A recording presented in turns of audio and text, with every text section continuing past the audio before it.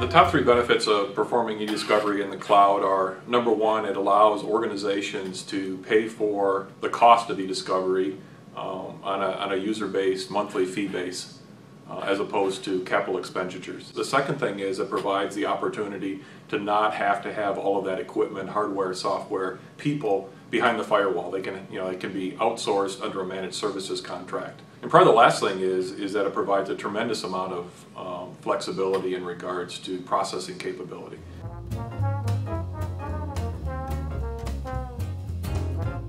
A lot of uh, new vendors that are coming into the marketplace, specifically designing their technology for cloud-based computing. Um, you know, things like grid computing and, and multi-tenancy.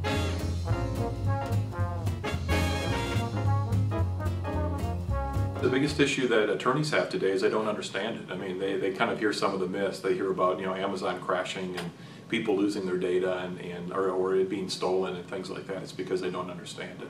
And so I think the way to mitigate that, mitigate that is through education.